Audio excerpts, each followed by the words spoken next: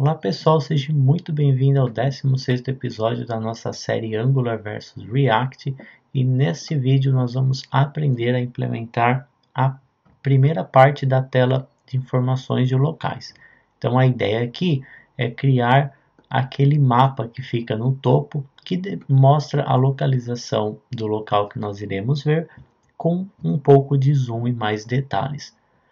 Para fazer isso, no Angular, nós vamos então criar um componente, então nós vamos trabalhar com subcomponentes, no qual nós iremos, a partir de um componente, renderizar somente aquele mapa, e o info local ele vai chamar. Então, a ideia é começar a desmembrar a nossa tela em múltiplos componentes, para que a nossa interface e os nossos componentes não fiquem tão complexos. Então, desenhar um único componente que seja responsável por exibir o mapa, por exibir o, os, a descrição, exibir a galeria de foto, isso tornaria o seu código bastante confuso, com classes longas.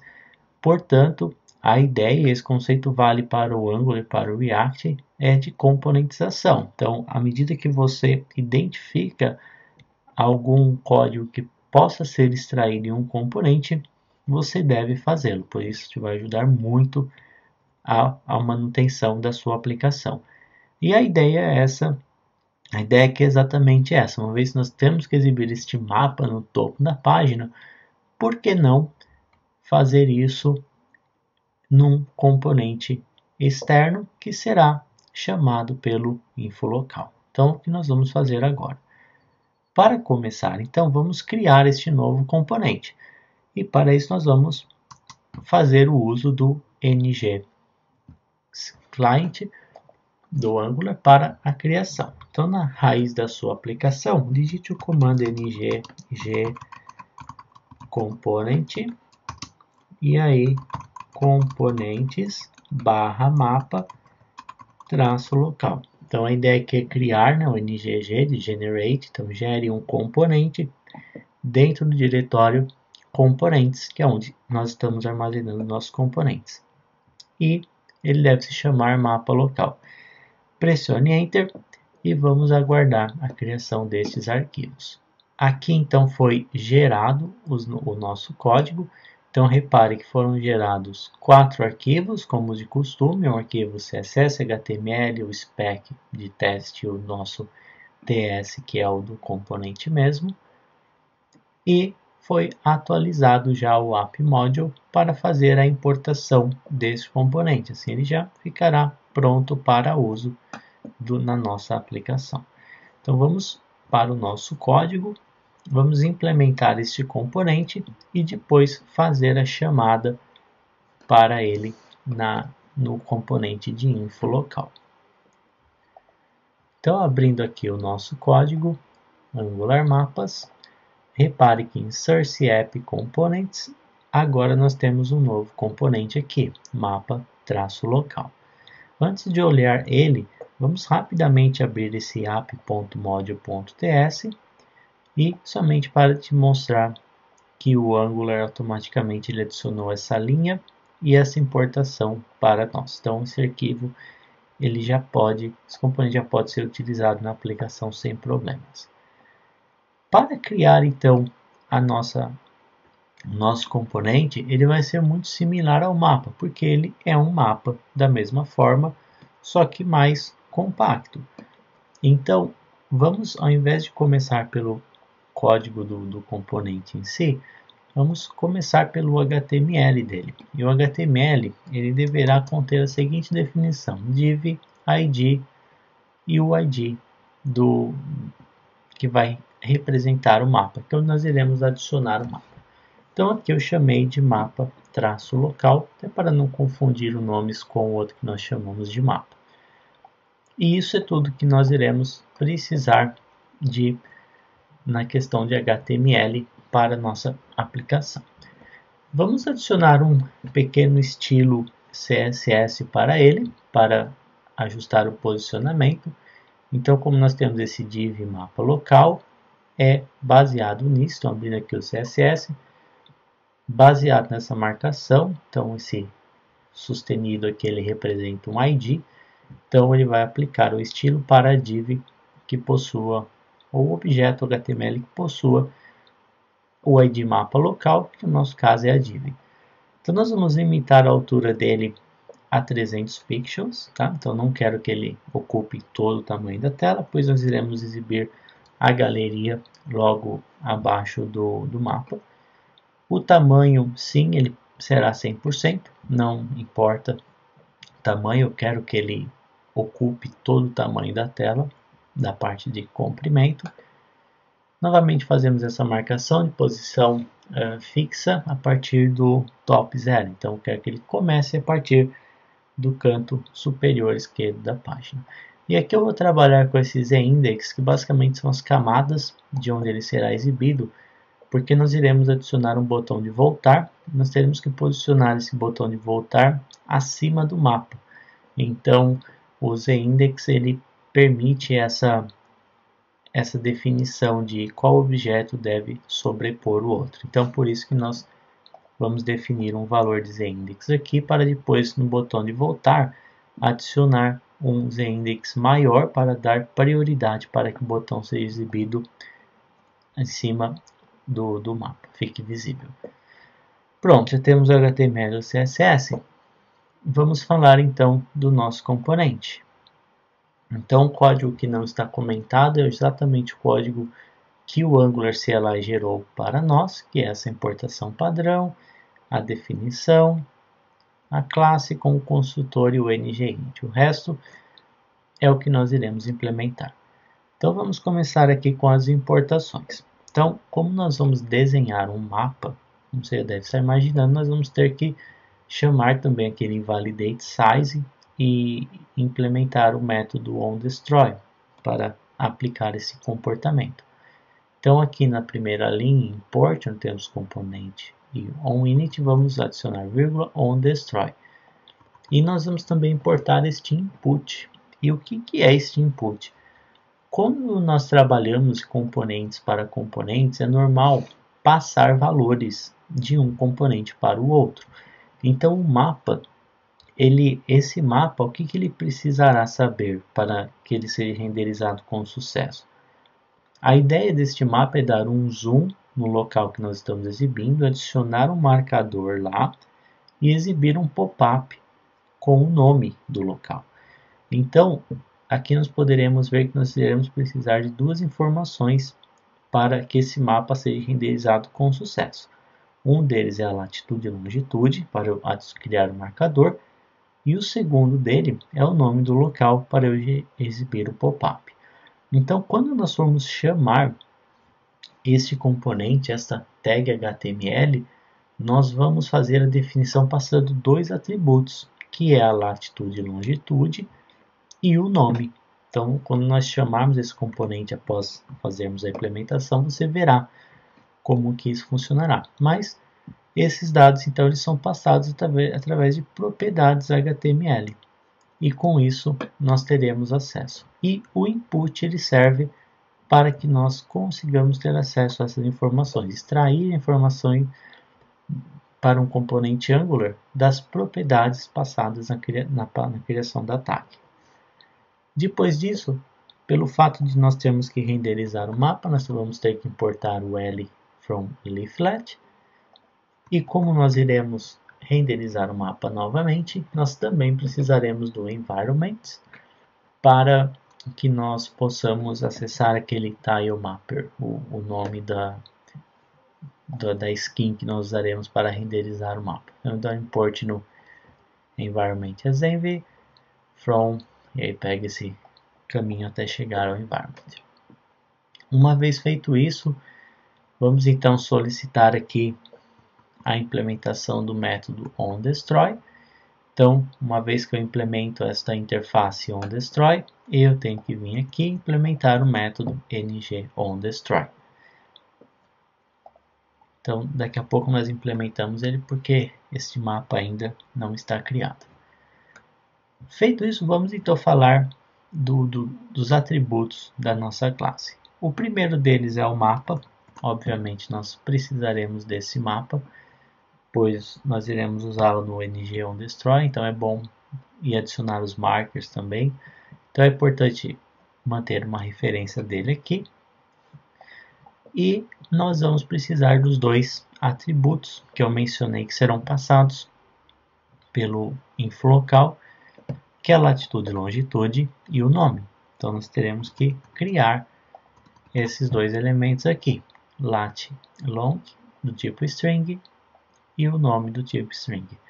E aí aqui nós fazemos o uso desse input que nós importamos. Então, se eu der esse arroba input e passar aqui entre parênteses e o nome, ele vai automaticamente pegar o valor do atributo e adicionar aqui. Então você poderia também fazer uma formatação desse tipo, tá? Fica, a formatação fica a sua preferência, mas eu acho que começa a pegar muito espaço na tela, mas somente para seguir essa mesma convenção. E aqui nós também nós não passamos nenhum valor aqui, pois nós estamos assumindo que o valor do atributo passado pelo info local ao criar a tag será exatamente esse nome. Caso esses valores sejam diferentes, você pode adicionar aqui como string um, um valor diferente para ele. Então, se eu dizer n, então ao criar a minha tag app mapa local, que é o seletor que está criado aqui, e passar n, ele será atribuído ao nome. Mas eu prefiro deixar assim, pois eu não preciso escrever esse nome e, e ele automaticamente terá o mesmo nome. Então, eu devo passar latlong e nome ao criar meu seletor. Feito isso, vamos falar aqui do... Bom, a gente já pode agora que nós temos o mapa já solicitar o nosso ng1 destroy, então diz mapa invalidate size, já deixa ele pronto. E agora, obviamente, quando inicializar o nosso componente, nós vamos renderizar o mapa. Então, nós precisaremos chamar uma função renderizar mapa que vai fazer o trabalho para nós. E essa função, este método, ela terá essa seguinte implementação. Uma vez que a nossa latitude e longitude está armazenada aqui em formato string, nós precisaremos gerar um array a partir dela. Então, nós iremos criar uma constante latitude e longitude dar um thisLatLong split por vírgula. Isso retornará um array com a latitude e a longitude neste objeto aqui. Depois disso, nós vamos criar o mapa inicializar o mesmo. Então, esse diz.mapa, nós vamos usar a mesma função que nós usamos anteriormente, l.map, o nome da div agora é mapa local, set view, latitude e longitude, só que aqui nós passamos o zoom 13, então você repara que agora nós temos um zoom já bem mais próximo da nossa tela, porque a ideia é realmente dar um zoom e exibir o mapa de, de, do local mais próximo. Aqui também exatamente o mesmo código, então nós aplicamos aquela camada de visualização no mapa, então L tile layer env mapa tile layer, o zoom máximo 19 e adiciona isso, essa camada ao mapa. E aí aqui nós vamos adicionar o marcador, então o marcador é exatamente da mesma forma como nós criamos outros marcadores, então L.marker passa a latitude e longitude e adiciona ao mapa. E aí vamos já implementar também a exibição do pop-up para exibir o nome do local. Então, como vocês devem se lembrar, esse add ele retorna uma referência do marcador. Então, com essa referência, nós poderíamos chamar este método bind pop-up, passando o valor que ele deve conter no pop-up. Então, esse pop-up também já é um recurso do leaflet, tá? Nós não precisamos implementar, basta utilizá-lo. E o bind pop-up ele precisa receber o valor a ser exibido no pop-up. No nosso caso aqui é dis.nome, que também vem lá do, do atributo, das propriedades do, do seletor. E para que o pop-up seja exibido, nós chamamos .open popup. Então, o popup ele por padrão ele já será exibido na tela.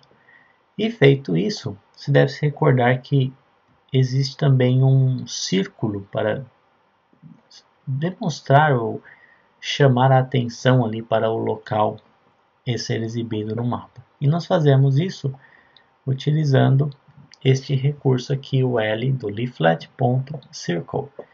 Então, esse círculo nós vamos usar como base a latitude e a longitude, então é o centro dele.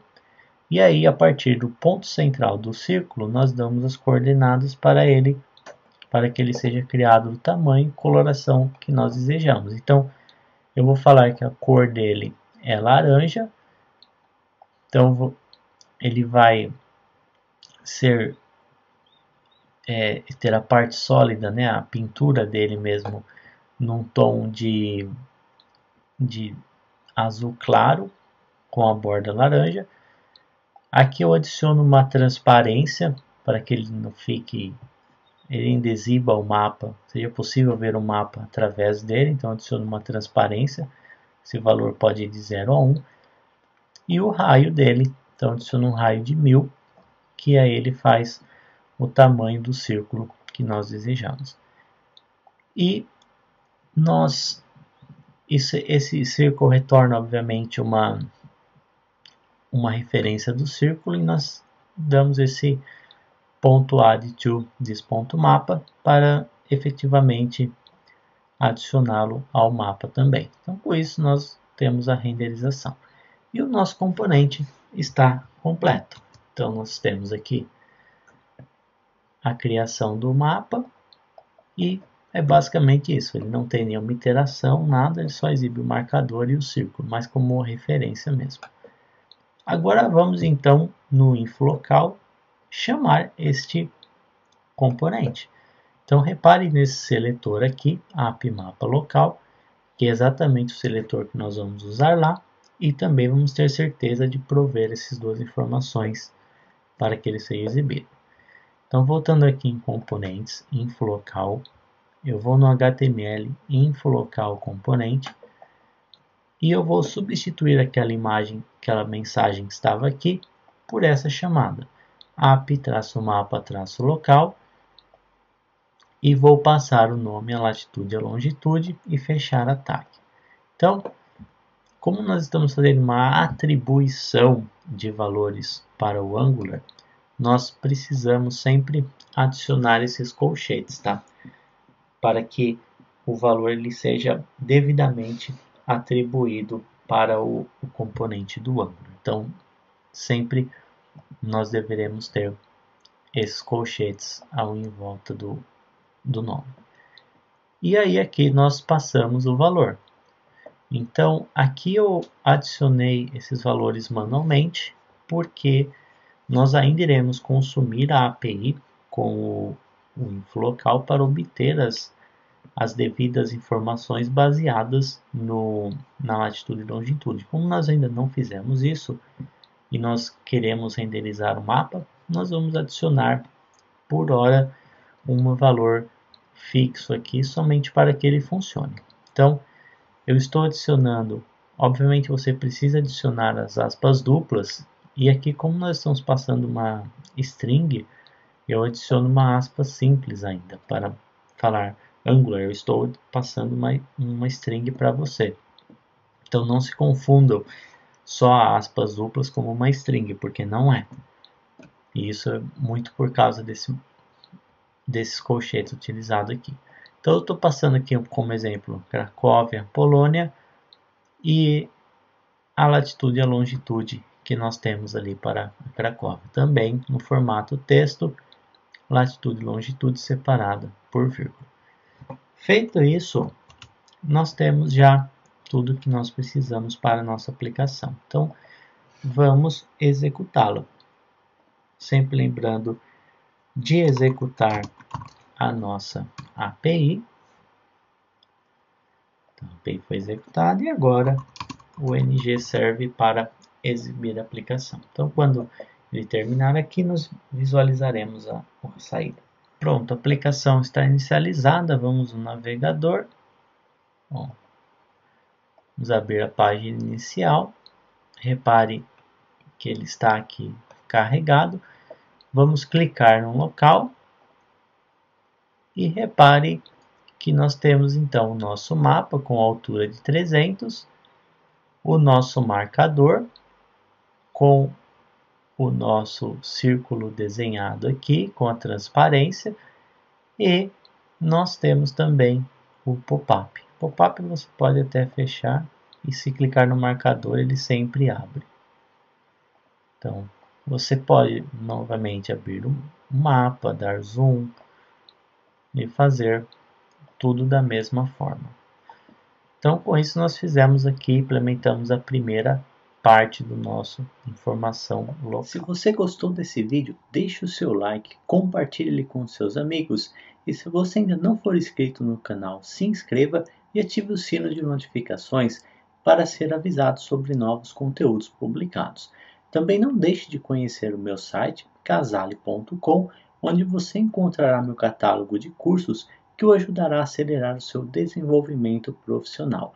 Te vejo no próximo vídeo. Até lá!